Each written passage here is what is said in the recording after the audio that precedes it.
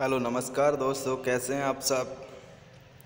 जी हाँ दोस्तों, मैं आपके लिए लेकर आया हूँ कि जो भारतीय रेलवे में, यानी कि जो रेलवे के दो विज्ञापन निकले हुए हैं, असिस्टेंट, लोको पायलट, टेक्नीशियन और ग्रुप डी, उनके लिए अगर मैं आपको आवेदनों की संख्या बताऊँ तो शौक लग सकता है कि नब्बे हज़ार भर्तियों के लिए आवेदन के सिर्फ़ पाँच दिन शेष हैं और इनके लिए अब तक दो करोड़ आवेदन प्राप्त हो चुके हैं। जी हाँ दोस्तों, दो करोड़ से अधिक आवेदन यहाँ पर आप देख सकते हैं कि ग्रुप डी के बासठ हज़ार नौ सौ सात पद और छब्बीस हज़ार पाँच सौ दो पद टेक्नीशियन और असिस्टेंट लोको पायलट के लिए।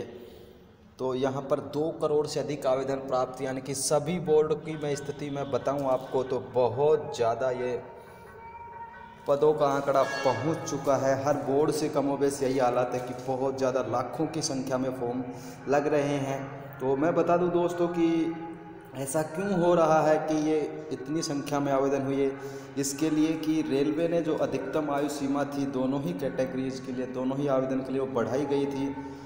तो एक सबसे बड़ा फैक्टर आयु सीमा के कारण ये पदों की संख्या बढ़ी है। यहाँ पर देख सकते हैं कि ये जो आयु बढ़ाई गई थी एक ये फैक्टर है। दूसरा फैक्टर मैं आपको बता दूँ कि पहले ग्रुप डी के लिए दसवीं पास प्लस आईटीआई की गई थी, लेकिन 22 फरवरी को आई, सरकार ने आईटीआई की अनिवार्यता को ख़त्म किया था।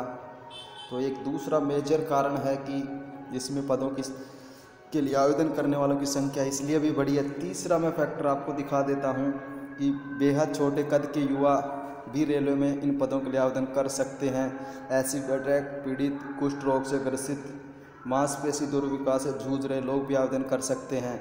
तो दोस्तों, ये एक बहुत बड़े फैक्टर हैं, तीन फैक्टर यहाँ पर आप देख सकते हैं। इनकी वजह से ये आवेदनों की संख्या में इजाफा हुआ तो आप अपना बोर्ड, होम बोर्ड छोड़ के मत जाइएगा, मेरी ये सलाह है। और अगर फिर भी आपको लगता है कि मैं इस बोर्ड से कामयाब नहीं हो पाऊँगा तो आप दूसरे बोर्ड देख सकते हैं। मैं आपको भोपाल का उदाहरण दूँगा कि भोपाल बोर्ड से आप फॉर्म अप्लाई कर सकते हैं।